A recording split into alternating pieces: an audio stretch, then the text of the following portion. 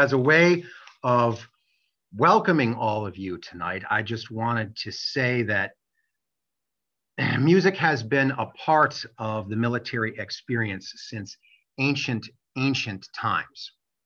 And whether that be for uh, communication over long distances, whether it be uh, for Army organization in camp or on the battlefield, uh, for recruitment purposes to keep the Army strong, uh, for ceremony, both joyful and solemn, and whether it be for uh, morale issues and just simply light entertainment. Music has been with us uh, all the way uh, through military history.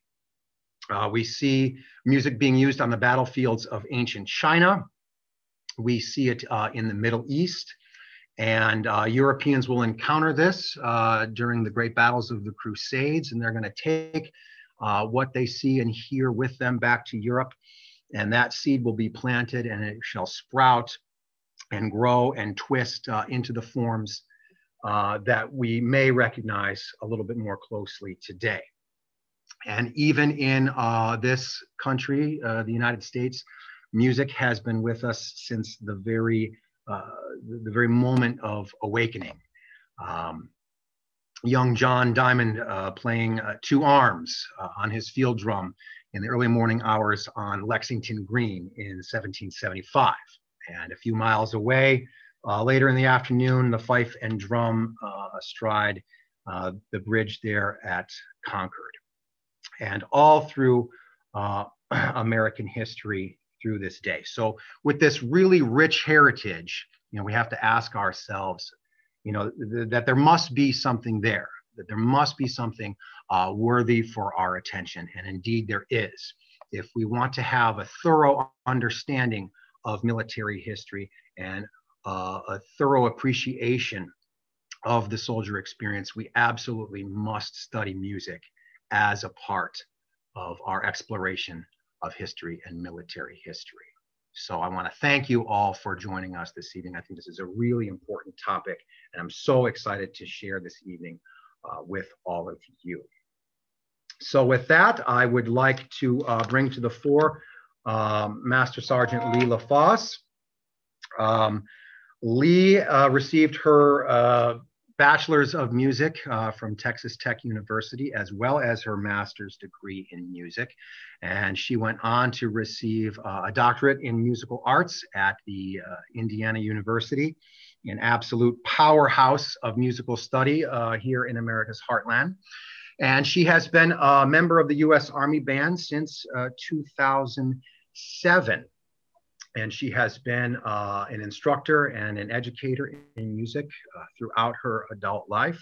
She has had the fine opportunity to play with some of the finest symphony orchestras in our nation, and uh, she now chairs the uh, education and the outreach department for the United States Army Band. So please uh, welcome, if you would, Master Sergeant Lee Foss and Pershing's Own. Leigh? Hello, everybody. Thank you, John, for that great introduction. You said everything that I would ever have possibly said about myself right now. Yes, my name's Leigh. I'm a clarinet player in the Army Band. Uh, I love the education outreach. That's kind of been my focus, especially since we've been doing all this social distancing. Um, and I'm really excited to get to talk to y'all tonight about the Army Band, where we came from, and where we're kind of going. Uh, I got to do a lot of research for this presentation, so I learned a lot and I'm hoping to share a lot of what I learned with you. So without further ado, let's begin. So the United States Army Band, when I started thinking about how to define us, I would say stewards of ceremony is a great way to kind of pinpoint what it is we do and what we've been doing through history. Where did we start? Where did we come from? Have you guys heard of General Blackjack Pershing? He is the man who said, You will organize and equip the Army Band. And this was in January 1922. Um, he had heard European bands and said that the United States absolutely needed to create bands that would rival those musical elements, which is why he decided we needed to have a band. So I wanted to share with you this little, hold on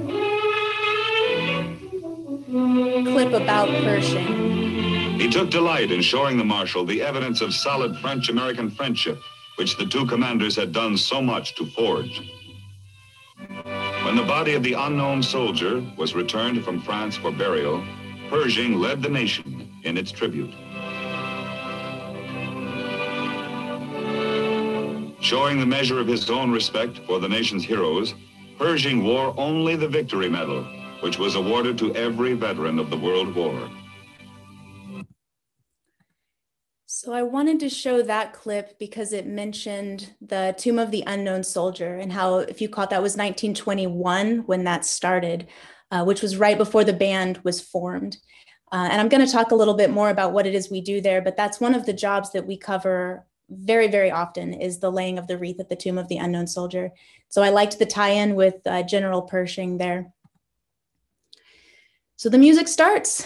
January 1922, we're coming up on our 100 year anniversary, which is exciting. We have some big plans in the works, which I'm pumped about.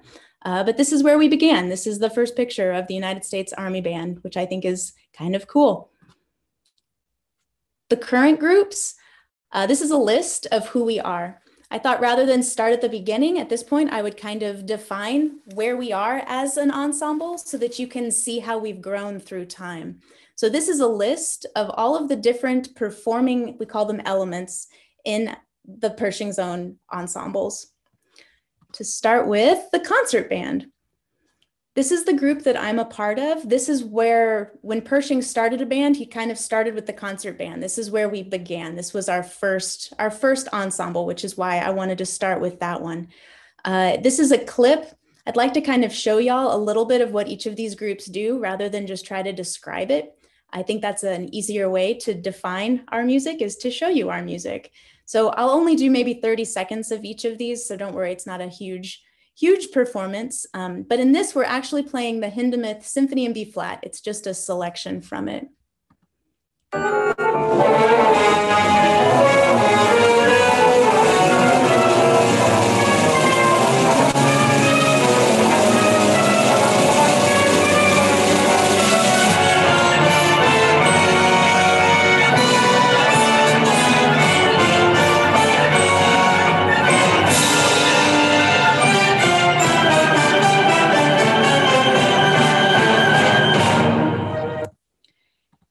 If at any point I forget to stop listening to something, I apologize because I kind of get excited about a lot of these things and don't want to stop them. So that's just a clip of the Hindemith Symphony, which just an interesting anecdote about that. That piece was actually written for Pershing's own in the 1950s. And it's one of the biggest pieces for uh, wind ensemble for the military band format. I think that's pretty cool. So the ceremonial band, I'm going to talk a little bit about how the band went overseas and fought in World War II. And when we did that, a group of musicians had to stay behind in order to cover all of the duties that happen in Arlington Cemetery, the White House, anything that was going on in this area. So the ceremonial band was actually half of the original band that kind of broke off to create that ceremonial unit. Uh, this is an interesting point to me because this actually really defines what it is I think our band does, which is we adapt in order to accomplish whatever the mission is that we need to do in that given moment. So at that time, we needed a band to go overseas and we needed a band to stay here. Now we have two bands. So this is how the ceremonial band was founded. One of the things that happens a lot in the ceremonial band is the playing of um, wreath layings at the Tomb of the Unknown. And there's a great video here of one of our buglers playing taps that I'd love to share with you.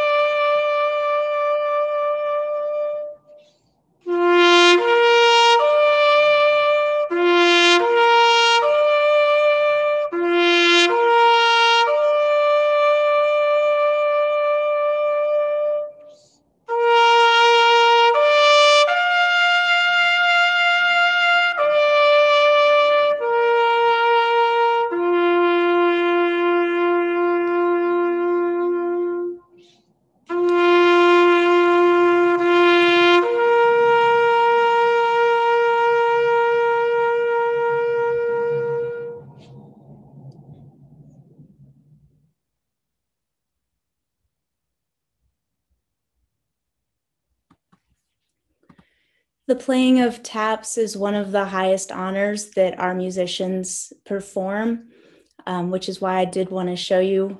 Um, usually, when we perform at the tomb, there is a full band present and we'll play the anthem of our country, and then whichever dignitary is laying a wreath, we'll play that anthem as well, and then taps will will follow that. So because TAPS is such a big part of Arlington Cemetery, the um, cemetery itself decided they wanted to honor the musicians by creating a bugler statue. I just put this in here as sort of an anecdotal fact. Uh, this is Sergeant Jesse Tubb.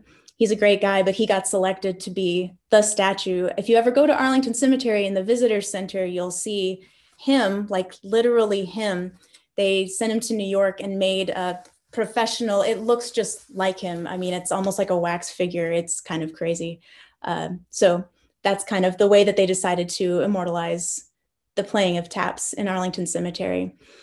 Um, I'll also mention at this point, I created just a handout. I'll put it in the chat at the end, but it includes a link to everything that I'm going to share with you today. So if you want to go back and see a full performance or you want to learn more about any of this, you can just use that handout and click on the link to, to listen to the whole thing. So there's actually a documentary about the making of this statue, which I'm not going to play, but just know it's on that handout. If you want to know more about it, you can you can check it out.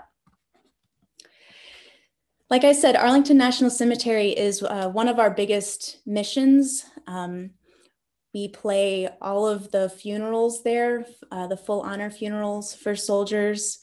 Um, it's usually four a day, and that's the full band. So this is a full time job. Um, it's uh, a big honor to be able to help the families. So I wanted to just show a clip of what that looks like.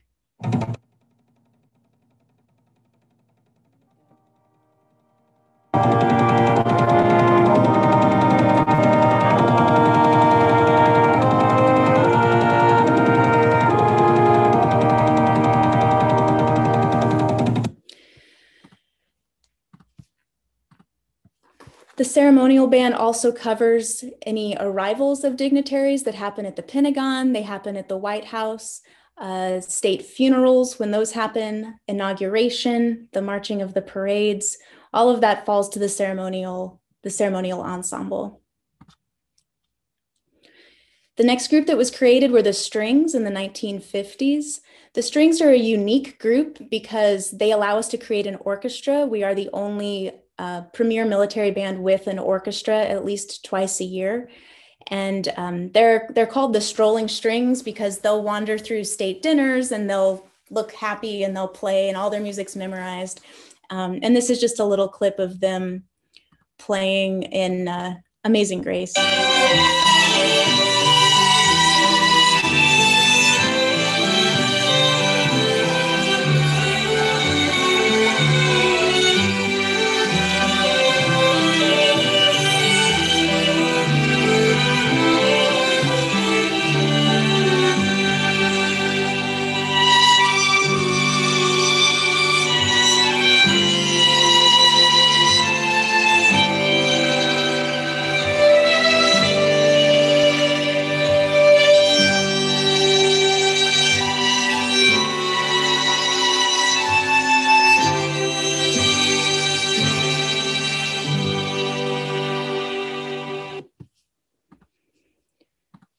That's the string group.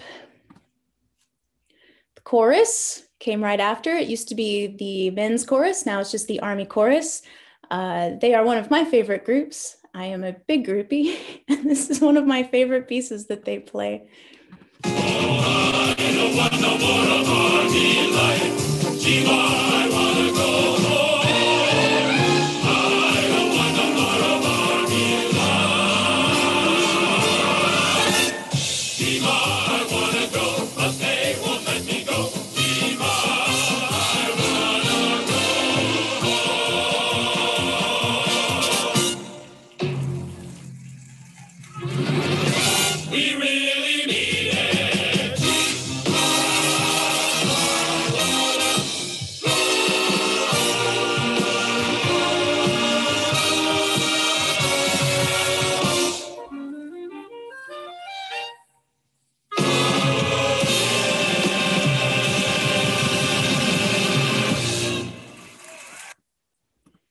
So that was actually our big 1812 concert. At the end of every summer, we do a really big outdoor extravaganza. It's usually under the Washington Monument. That was actually on Summerall Field at Fort Myer. Uh, but it's one of our most highly attended performances. Um, we pull out all the stops. There's always a guest artist. Sometimes it's Miss America. I mean, it's this is a big concert that we do. Uh, but that was one of the songs that they covered last year, two years ago. I just love it. That's the chorus. The Herald Trumpets are definitely unique to us. Um, they are a famous ensemble. John Williams has written for them. They've played at the Olympics, they've played at the Super Bowl, they've played just about everywhere that anywhere you'd need a fanfare. Lots of pictures of them on the White House, lots of pictures of them playing for the President of France and the Pope and the Queen. And they're just a very popular fanfare ensemble. So this is a quick little clip of them playing actually at our holiday show. I mentioned that we can do an orchestra. This is one of the times that we do an orchestra performance every year for the holiday festival.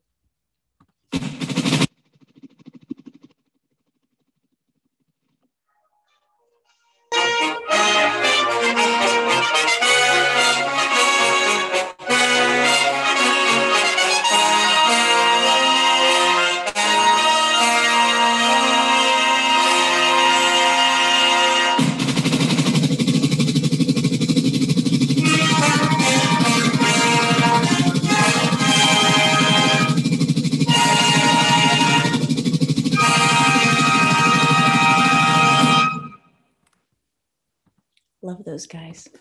It's really amazing to be a part of a group where I genuinely get excited when I hear my coworkers perform. I, I just, I love that. The Army Blues, again, we have this incredible blues jazz group. Um, this is Bob Hope. Like they've just played with everybody. It's amazing. Um, and this is just a clip of them at Blues Alley.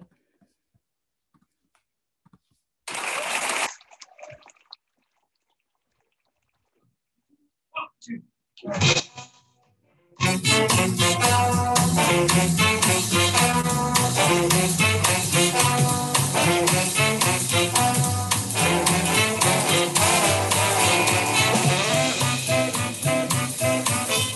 right. We're almost done with this part, promise. So in 2002, we were invited to work with the USO and actually support Operations Enduring Freedom and um, go overseas and perform for the troops.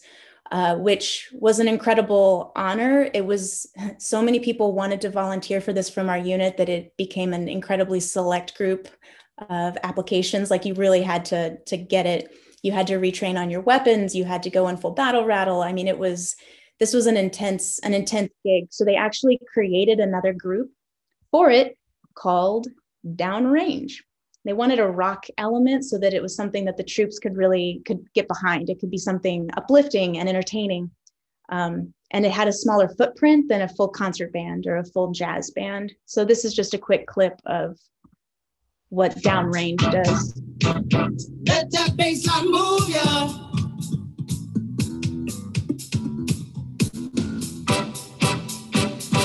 let that move ya say hey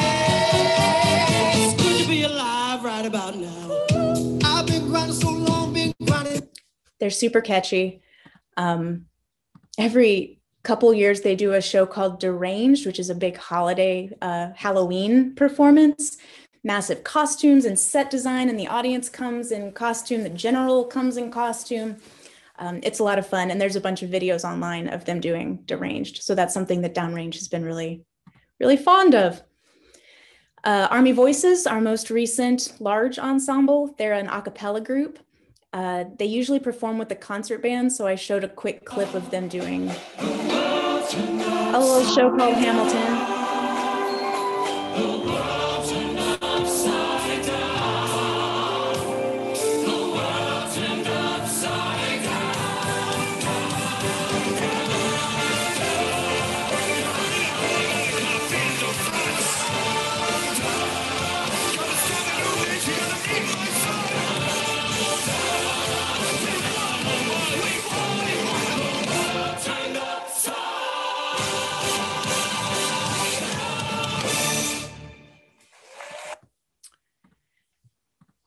That's Army Voices.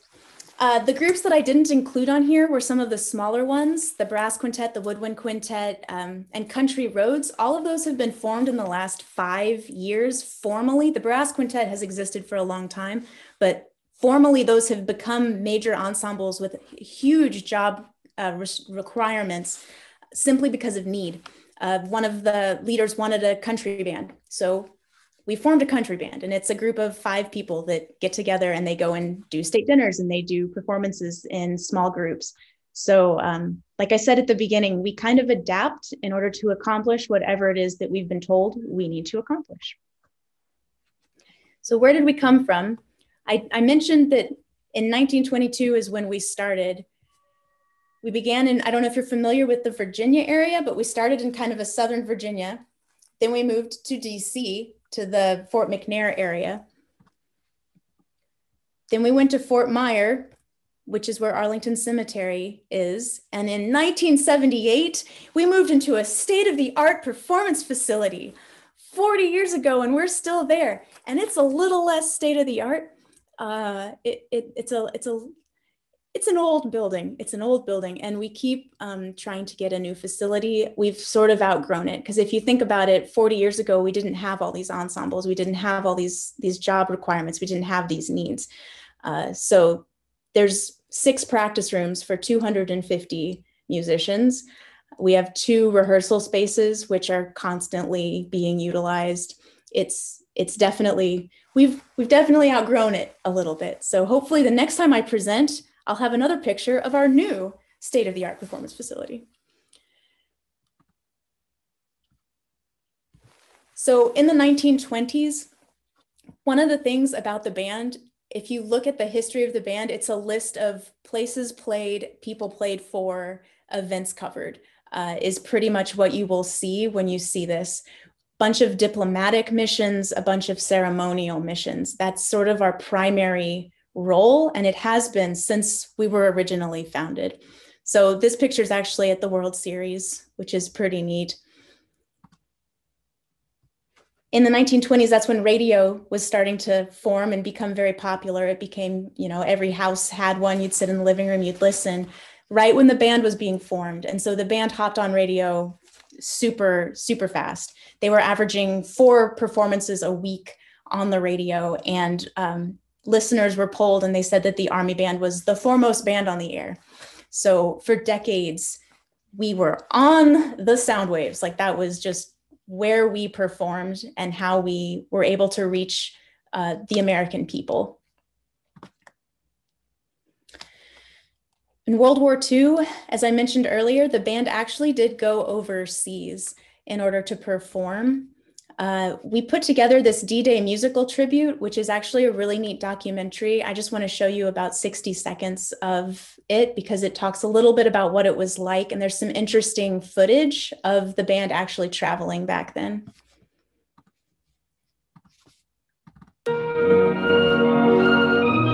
To go to a concert, they would get on trucks, you know, two and a half ton trucks. The, you've seen them in the, the, the hoops and the cloth cover on the back and the, the they were constantly lost and late. All the road signs had been taken away because the, the for to try to thwart the enemy, but it also thwarted themselves, and they're constantly uh, coming to a crossroads and looking at a map and trying to figure out which way are we going, and then to get there and play a concert and get back on the truck and get back late at night, and, and in some places play multiple concerts in the same day. It's amazing to to, to try to try to pull off the, the, the, band's role during World War II is a similar function to what we're doing now. Uh, it's, it's both interacting with the civilians and uh, serving the military. Uh, so, for instance, in Morocco, uh, the band uh, set up in their tents uh, Captain Darcy decided, well, let's do a parade, and a little concert in town. So they just marched into town. Well, Morocco had just been liberated, and you have to understand, you know, under the, the Nazi regime, it was quite oppressive. And so for all of a sudden, for the, the shackles to have come off, uh, the band marched into town, and the newspaper reports, and this is it's it's mind-boggling t- for us to consider now, but they say that somewhere between 20 and 40,000 people spontaneously poured out. They said women were screaming and throwing flowers, and it just the guys couldn't, they'd never seen, see anything like it.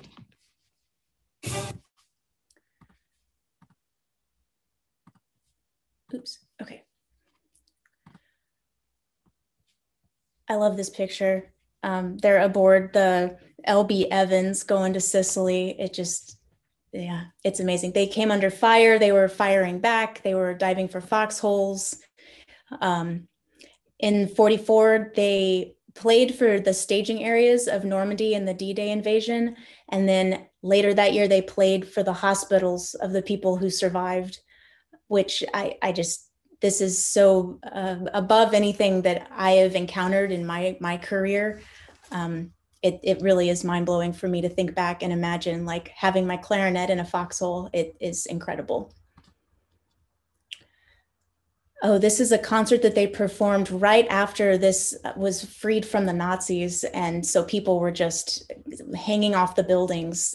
It's incredible also to me that they managed to schedule where they were performing. It's almost as though they would go to whichever area had just been freed and celebrate with those those those civilians and i can't imagine the kind of uh, power that, that came from that connection uh, that year they were actually attacked um, and one of our clarinetists was injured and received the purple heart uh, which is incredible we are the only service band who has served in in a wartime setting overseas like this which i think is kind of awesome not awesome but awe like inspiring awesome this is one of the most iconic pictures of our band in front of the Arc de Triomphe.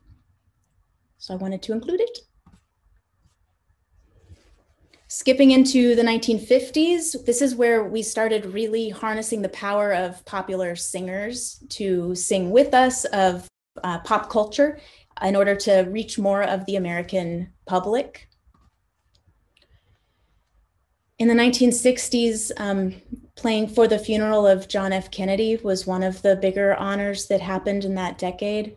Um, all of these decades also include inaugurations, and like this was funerals for the Vietnam War.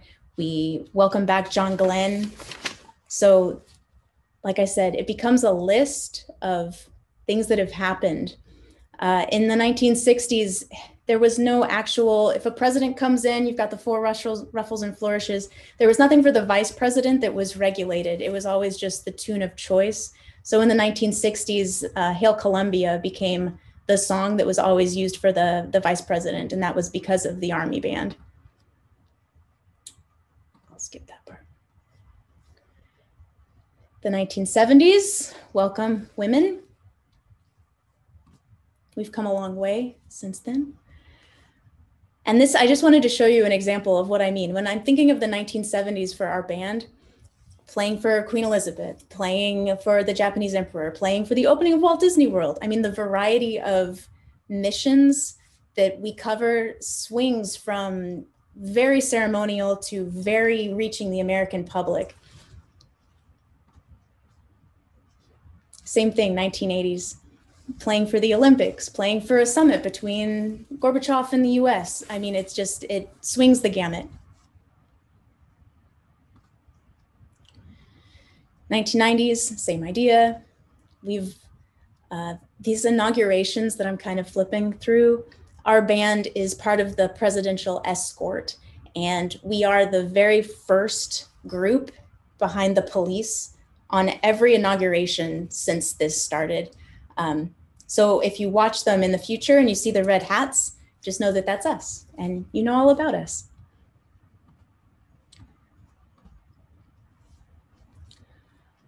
On September 11th, um, we had missions in Arlington Cemetery that could see the Pentagon, they could see the smoke. Um, this flag is actually from our band building. It was the biggest flag that they could get access to quickly. Uh, and we did have people from our unit go and help rescue missions at the Pentagon. The band also did a performance at the Kennedy Center and then immediately went to um, Ground Zero to perform a ceremony there.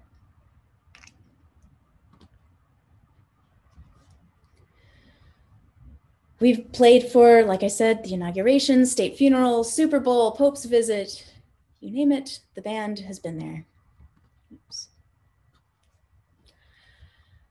One of the things that I think we do really well is international diplomacy. This is a list of places that the band has been.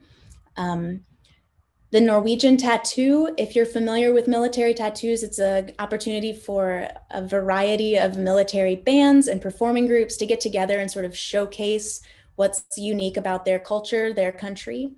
Uh, so in 2012, the band went to Norway and did a tattoo there. And there's a bunch of videos, like a day by day Oslo, day two, day three, day four.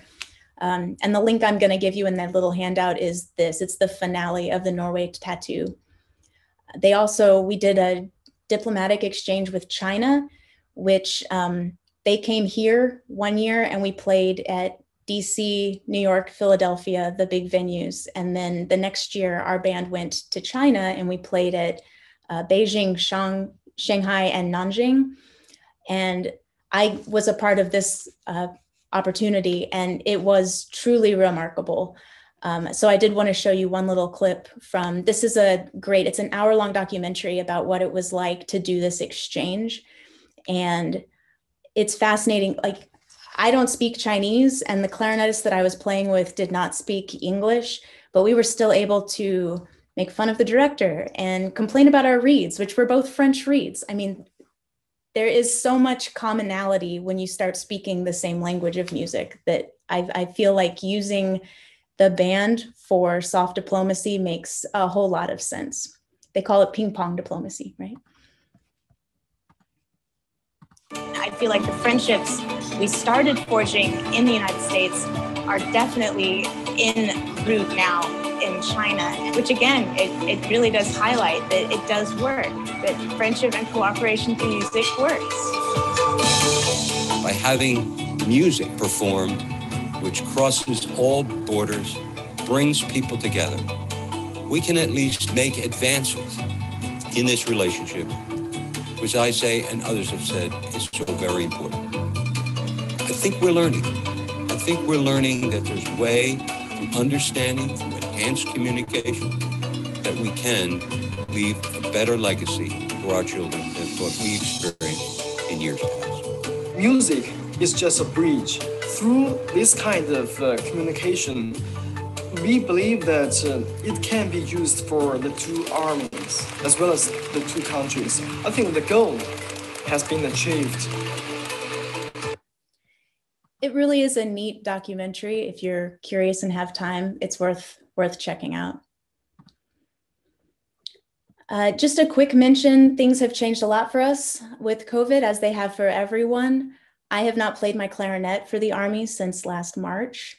Uh, but I have been working very hard building virtual education programs and taking temperatures at Fort McNair for the headquarters building. We also have people working at the commissary and we have people working at Rader Clinic, helping people know where to go. So um, COVID has been very different for us, but we have found ways to adapt and accomplish the mission.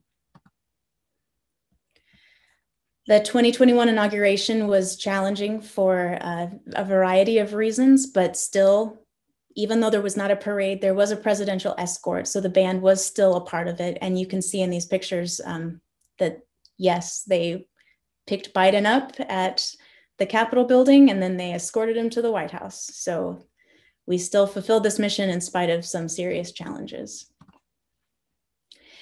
So that's my general overview of the Army Band. I definitely wanted to have plenty of time to hear what it is you're interested in hearing more about.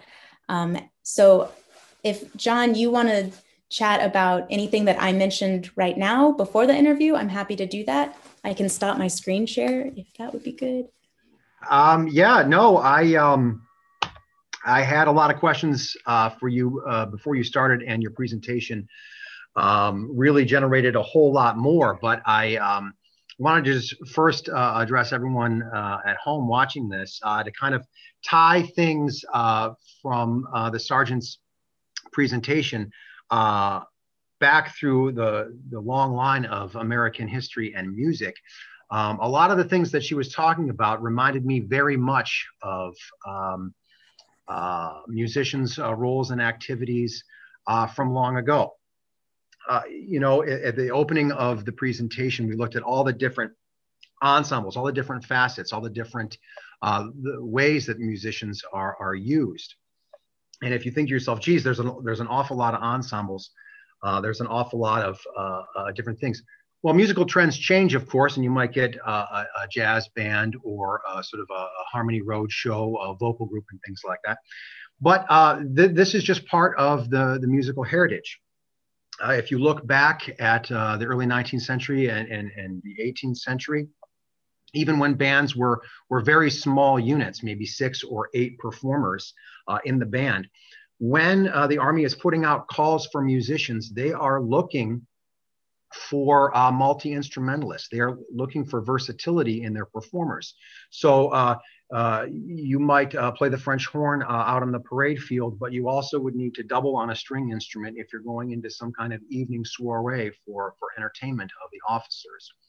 So to have uh, a tremendous diversity uh, in the music corps is a very important thing that goes all the way back to the 1770s and, and, throughout United States history. So, so that's a parallel that we can draw from, from our entire history as musicians and you know you talk about um, uh, the band utilizing radio in the 1920s uh, uh, this sort of thing uh, it was a new technology yes but uh, before that you know music of course uh, was used to sort of promote the army to, to promote a recruitment to keep people's interest um, and, and, bands would perform in towns you know just to generate the buzz. And, and, we see radio doing that throughout the 20th century and uh, during World War II, uh, they had that tremendous moment uh, uh where they're speaking about uh, the liberation of Morocco and, and the band being there and sort of marching into town uh, and having the ladies' presence. And, and, and this sort of thing happens in all eras. You know, when you see a city is liberated or, or even conquered, it seems like the band is, is one of the first units to march into that city behind the advance guard to sort of announce the arrival uh, of this army and to play uh, patriotic music uh, to infuse the populace with with this with this these new ideas that are coming in these new people this this new army. Uh, so you can see that uh, uh, throughout the American wars of the revolution and the war of 1812 of using the musicians to sort of announce the army as a whole. And, and, so that's a tremendous parallel. It's the more we host personnel of the military out here we always love talking about the similarities and differences uh, between uh, the old days and the modern. And it is remarkable in some regards how, how little things have changed uh, despite the gulf of time and technology. Um, that, that the Army uh, can still find roots um, or, or the roots of the Army can still be felt uh, in, in the modern day. And of course, with, uh, with COVID-19, uh, you mentioned the musicians being uh, moved out uh, to the hospital wards and you're taking temperatures and, and, just monitoring people's health. And this was one of the major, the major duties of musicians um, in, in days gone by before a battle, uh, the music corps, uh, the band would absolutely be reassigned to the hospital staff uh, to be running wounded back to the surgeons and and helping uh, helping the Army doctors out in, uh, in whatever their needs would be. So uh, you uh, taking temperatures and, and, and serving uh, um, the nation in that regard is, is it's strange to see, but also uh, somewhat warming to see that musicians are still performing those, those roles. And you also mentioned Hail Columbia, and this is, a, this is a piece that's dear to me uh, because in the 1812 community, uh, musically, this is one of the most important songs uh, that we play. Uh, uh, sort of the, the, President's March. This is an old, old American song that goes back to the Washington administration, and we play it out here every day at the fort um, for the raising of the colors, actually, at this time. so it's a tune that I know very well, and it sort of functioned as a unofficial national song for the United States uh, until the adoption of the Star Spangled Banner in the 30s. Um, so it's wonderful to see that the band still plays that, still holds it in high regard, and honors the vice president uh, uh, in that way by by using um, one of our very uh, sacred songs, um, going back a long, long way. So very, very cool parallels that we're seeing all over the place uh, without me asking any questions uh, to compare the life of uh, musicians now um, from the past. So, so excellent. Um, you had talked a little bit about um, um uh, being in a forward position and having to, to undergo uh, weapon training again. And I wanted to talk a little bit about that. Um, um, way back in, in, in, the 1780s, towards the end of the American Revolution, uh, it was decided that that musicians, uh, field musicians, not necessarily the band, but certainly field musicians, uh, could not be recruited just for the musical purposes, that they had to come from the ranks.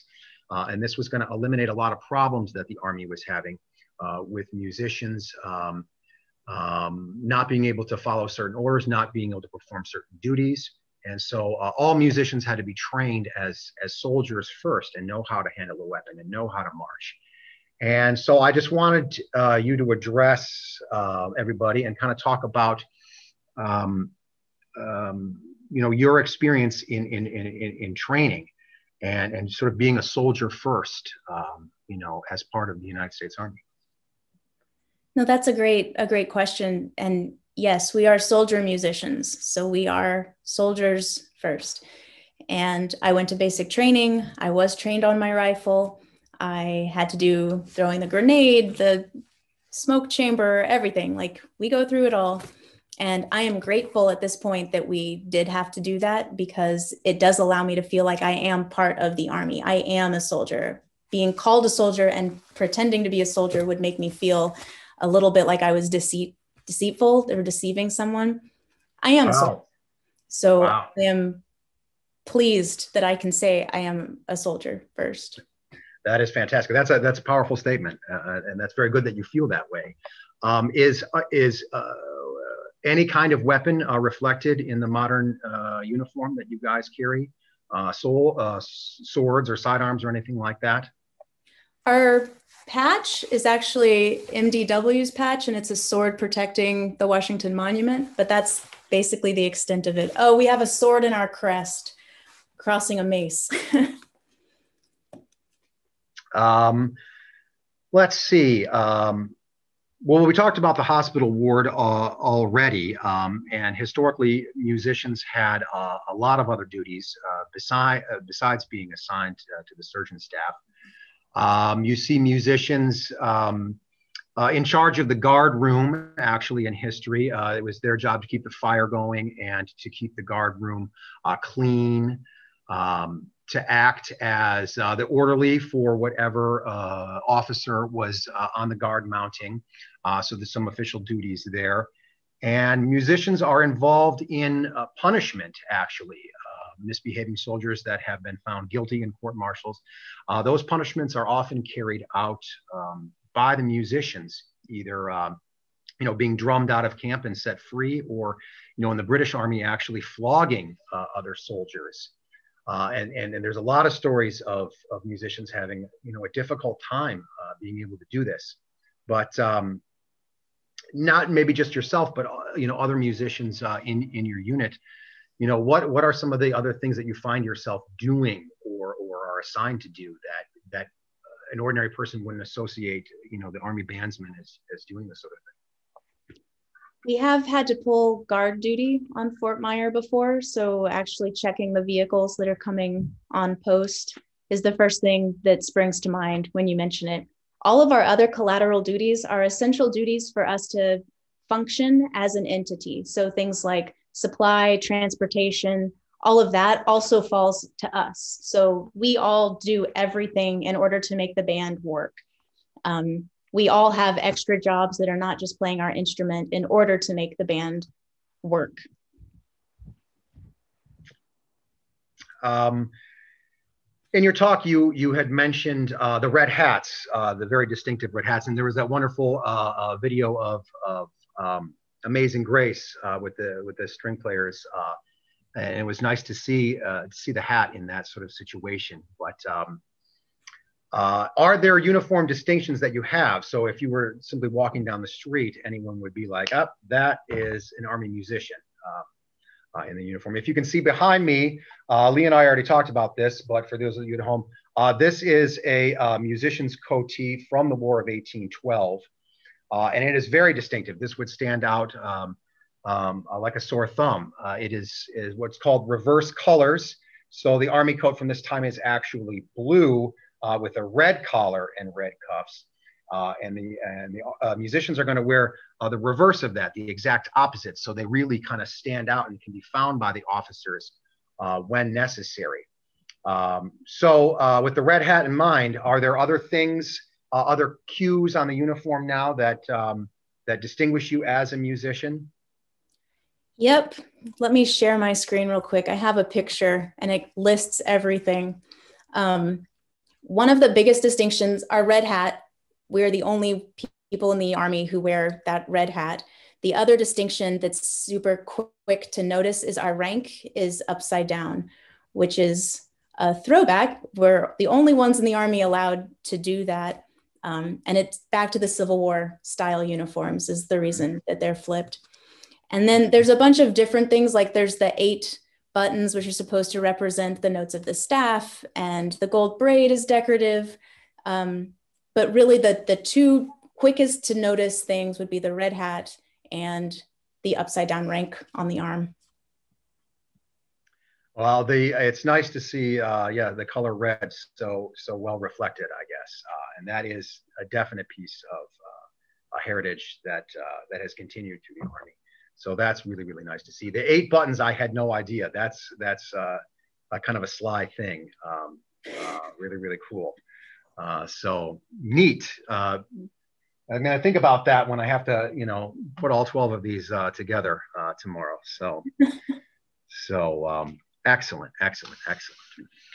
Well, um, we'd like to open up the floor if, if anyone uh, at home has uh, additional questions. And um, as we said, we're kind of talking about Army music uh, yes, Pershing's own, but also kind of throughout American history. So if you have other questions that date from an earlier time period, uh, hopefully we might be able to, um, to, to nail those down. So you can start um, fidgeting with your typewriter if, uh, if you're thinking about, um, thinking about anything, and we'll try to monitor those questions. Um, and while we're doing that, I'll just um, kind of think of some more, but uh, you showed a clip of of the funerals, and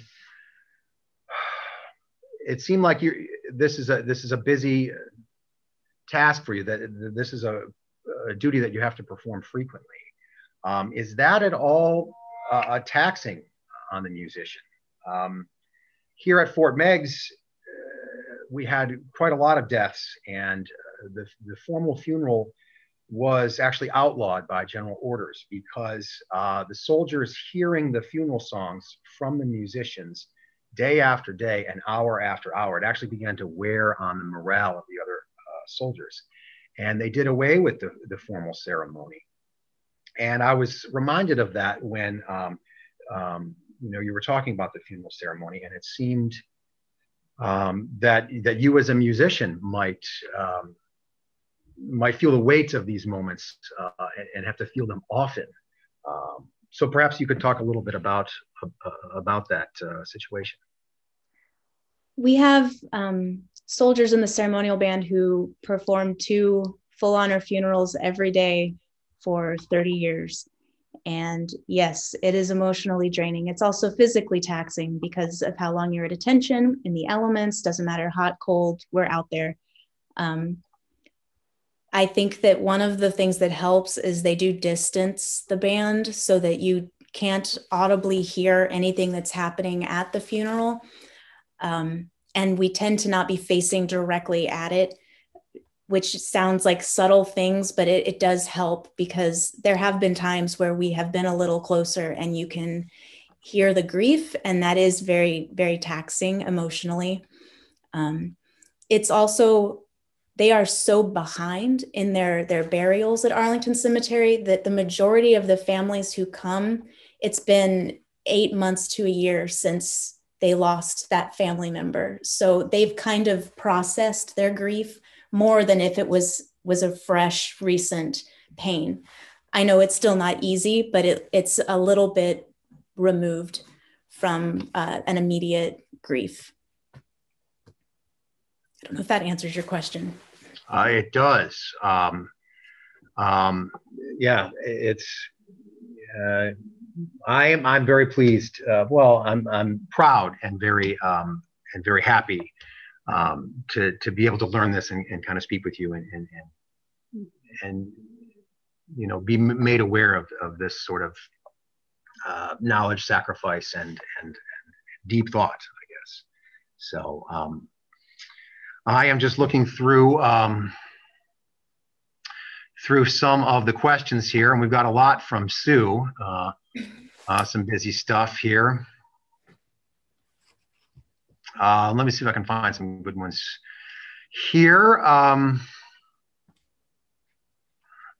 during uh, during the Civil War, did both sides have military bands? Um, yes. Um, the American Civil War is uh, often called the most musical of wars uh, because of the numbers of musicians that are involved. Uh, and we're talking tens and tens of thousands of musicians.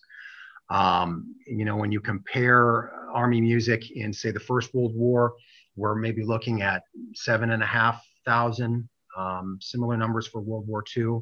And now, uh, uh, Lee, you might be able to answer, I think maybe 6,000 or so in, in the modern um, military era.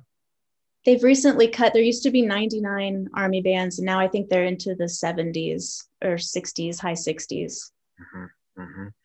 Uh, so, uh, so with the Civil War, yeah, uh, you, you, have to understand that this time period was um, the whole country was elect- uh, electrified with with war fever, and entire towns uh, signed up uh, to go to war, and that included the town bands. So you would often have an entire band um, join the army as a unit, and they had already rehearsed, they already knew their music, and they're going to take that into the field with them. and uh, the Union Army had slightly larger uh, musician um, bands than, than the Confederates were authorized. But uh, yeah, you see uh, uh, both bands, uh, both sides using musicians to great effect in, in, the American Civil War.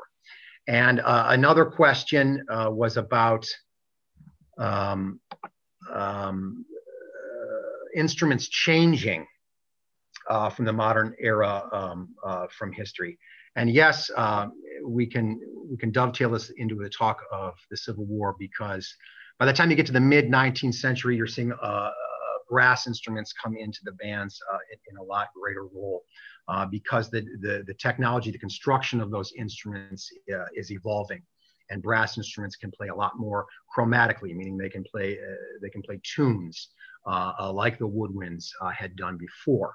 And, uh, and brass, of course, is a much louder, more sonorous sound and a little bit more effective for military use. Um, uh, so yes, you go from a, a wind-dominated uh, sound um, in the late 18th and early 19th century with flutes and clarinets and oboes and bassoons and things uh, to more of a brass sound in, in the 19th century and then beyond uh, uh, into the 21st where you see uh, the footage there of bass guitars and um, and, and, and all kinds of stuff going on in, in the modern era. um,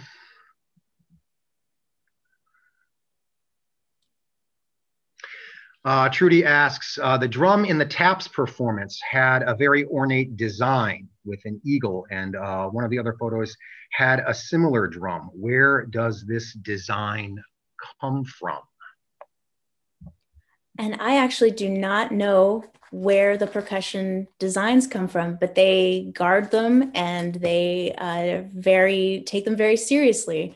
So I could definitely find out, Trudy, where that came from. I thought maybe it was related to our crest, but it is not. Thinking about the crest, it doesn't have an eagle, so I'm not sure where that came from or why it's on the drum.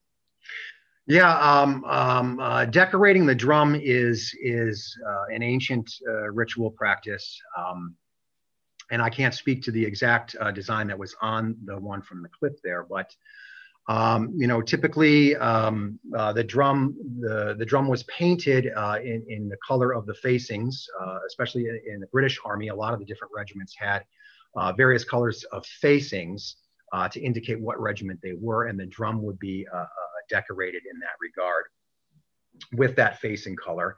And in, in the War of 1812, we see a lot of um, the American eagle, which was kind of a new symbol for the United States during this era uh, and sort of the national symbol.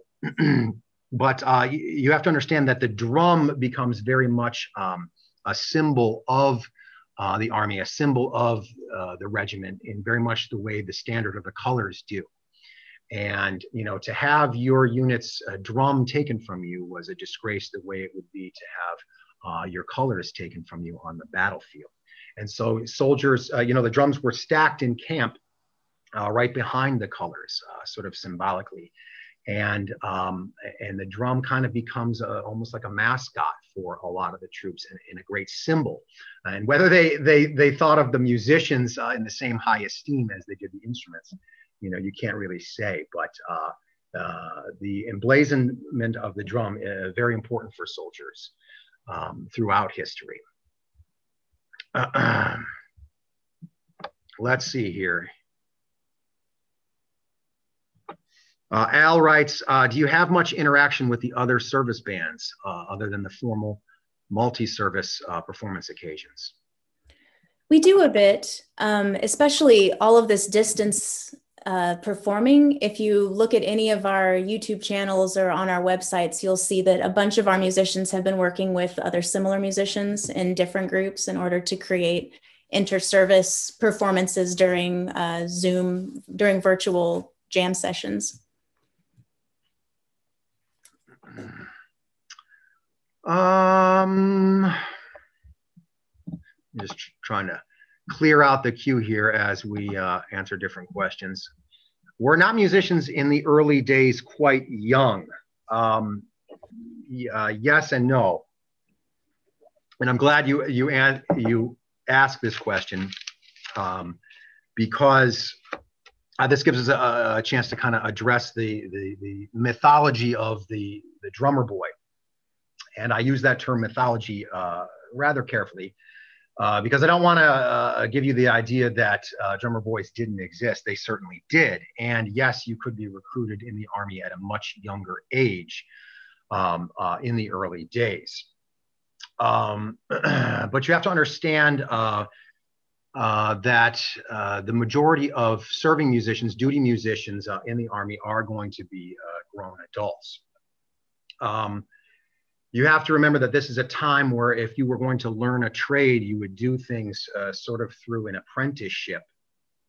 You know, if you were going to be a, a sailmaker, let's say in Boston, uh, you would work in the sailmaker shop and do the craft jobs for many years and kind of help uh, the master uh, with his different tasks throughout throughout the day as you slowly learn the trade. And it might be several years before you could go on and be your own master.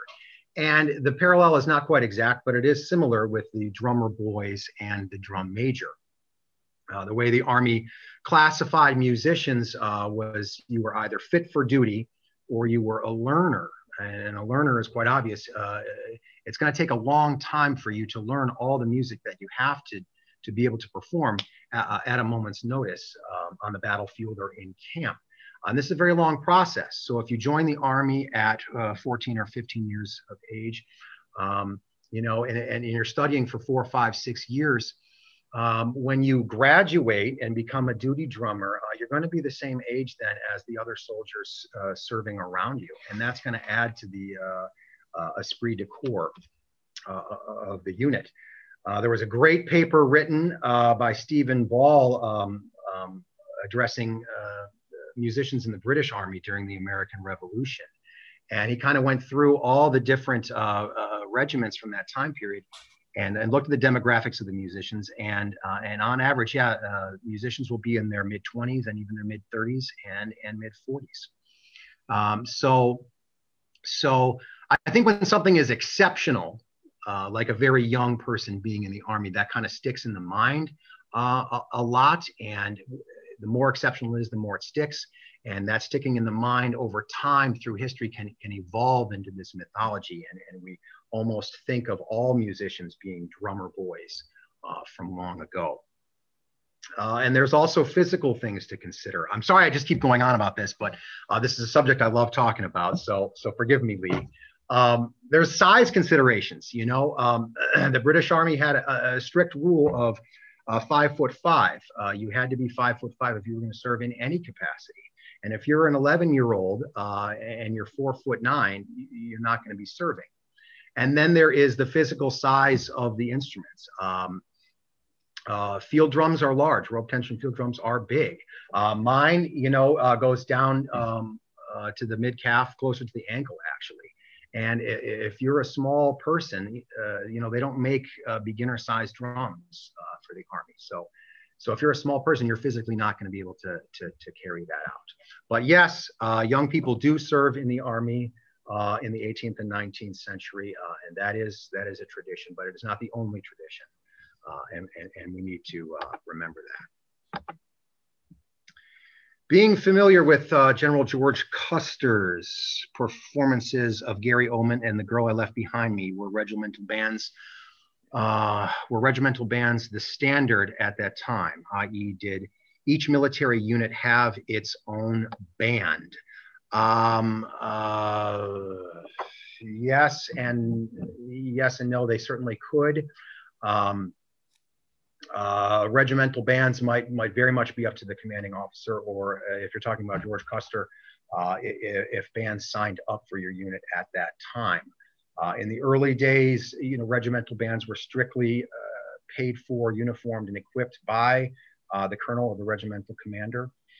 Um, um, and that's slowly going to change over time. I don't have exact um, information on, on, on when that begins to change. Um, but uh, but uh, music is going to be very important to George Custer um, uh, in particular.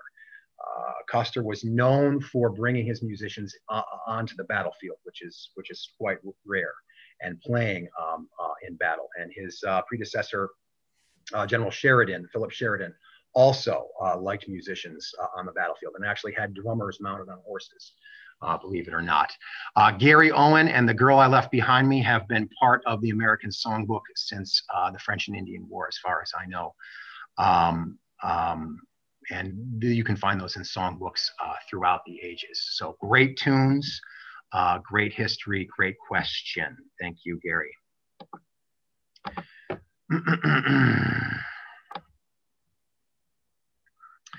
um, uh, someone had asked a question about your degrees. Um, if you're a, a, do certain do certain degrees in the academic field qualify you for certain ranks in the current army, or, or how does how does the ranking system work? We're actually unusual in the band. Most of us have masters and, or doctorates. If you saw us in the regular army, you would assume we would be an officer because to be an officer, you need a college degree. So to have all of these highly educated enlisted looks a little bit strange. Um, we're unique in that you have to win your position after a kind of grueling audition when we have a spot available. So right now we have a baritone vocalist spot available. So people are sending tapes, they'll pick a handful. Those people have to go through MEPS, which is the military processing to make sure that they're even eligible to win the job. Then they come and they audition, which is a multi-round full day of baring your soul to the world. And they'll select one person to then become that baritone player who will then go to basic training. When they go to basic training, they go as an E4, which is normal for anyone who has a college degree. If you go to basic training, that's the rank you start at. But then, as soon as you get to our unit, after three months, you get promoted from E4 to staff sergeant, which is E6. And in the regular army, people will take an entire 20 years to get to E6. So the way they reward all of our college degrees and our previous education is by advancing us through the rank and starting us out as a staff sergeant, as a non-commissioned officer. Our, our conductors are officers. So if you did want to be an officer in the band, you would need to go through the conducting route. Um, so, it, but it's still all uh, about uh, your your musical abilities, basically. Um, uh, you don't. There's not a ceiling where it's like, well, you don't have a doctorate, so I'm sorry, we can't we can't uh, do anything for you until you, you know, uh, wish you had a better degree. Sorry, you know, right. sort of thing. Yeah. Yep. Yeah. And yeah, to speak uh, to the education level, um, uh, music is uh, uh ferociously competitive, and, um, uh, and a lot of schooling is necessary. And and again, this is true uh, of history. Um, these are professional musicians who are recruited for the Army bands in the early days.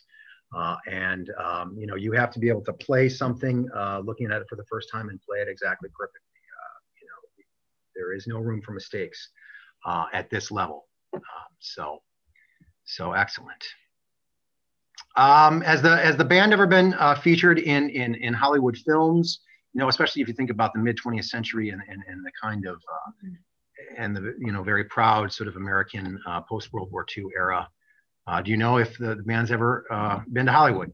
The band has been in two movies. I will not remember the titles. They were later than you'd think. One of them was a film about Indiana, actually. Uh, Garden Roses. Ugh.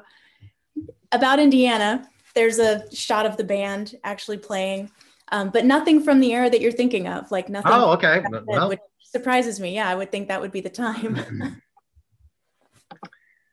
Garden Stone? Is that a movie?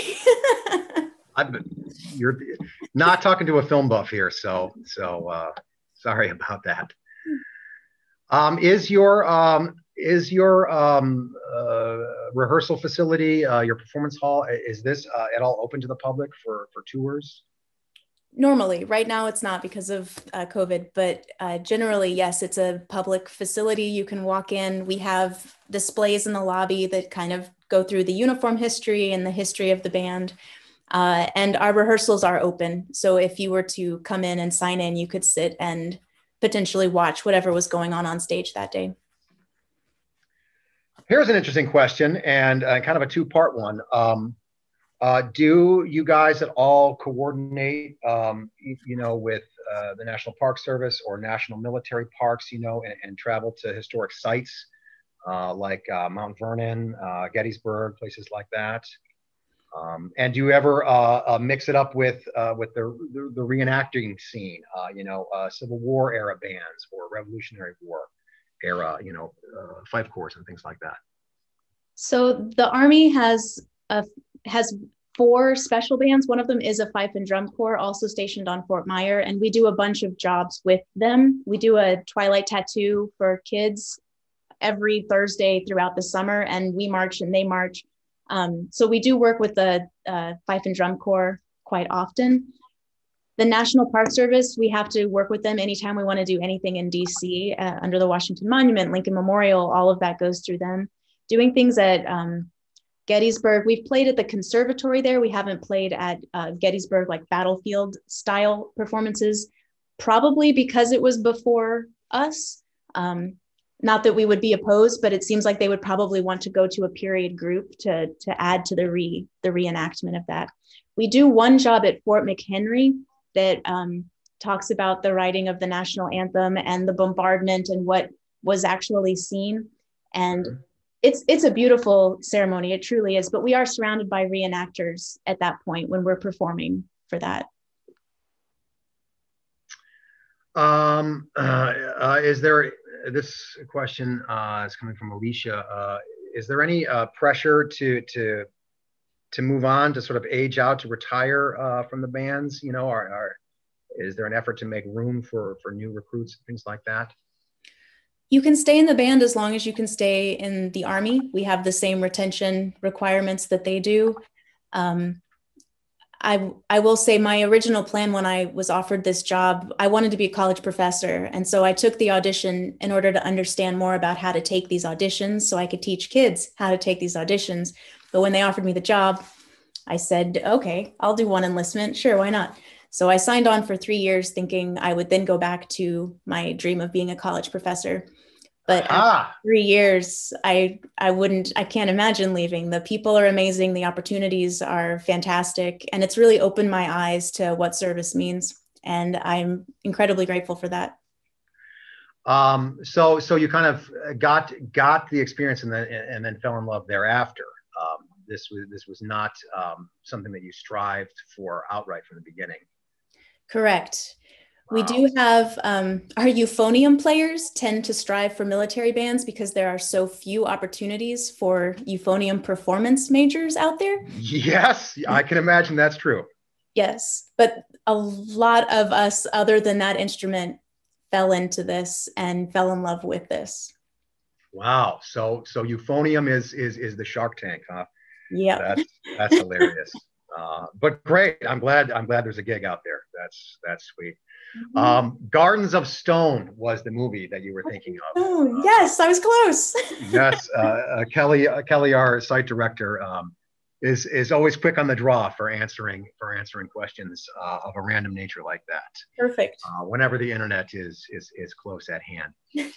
well, um, I think I speak for myself and uh, several people that have left chats and comments and questions. Um, uh, I think everyone out there in the audience wants to thank you for uh, your service. We know it's it's a tremendous honor uh, to to be defended by such a tremendous army and to have such uh, you know uh, tremendous uh, beautiful musicians that's that serve us. So I think everyone out there just wants to say thank you to you, Lee, for all that you do and for the music that you bring to, to so many people you know year after year. Uh, that is a, that is a language that that strikes deep. So uh, we thank you.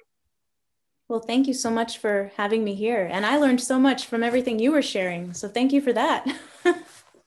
you bet, you bet, you bet. Um, if there are no more questions, I think we'll we'll kind of begin wrapping things up here, uh, everybody. But uh, the lecture series continues. Um, uh, a month from now, we'll be talking with author uh, Peter Cozzens, uh, who has a new book out, um, uh, Tecumseh and the Prophet, um, which is a subject, of course, right in step with what we do here at Fort Meigs. Uh, so it's always great uh, to have a chance to speak with an author who's recently finished a book, especially if it's on a subject that's so close to home as um, as American Indian uh, issues and the, the War of 1812 and how it how it impacts our history. So be sure uh, to turn uh, tune in for that lecture um, one month from tonight, uh, March 18th, uh, on the same on the same link.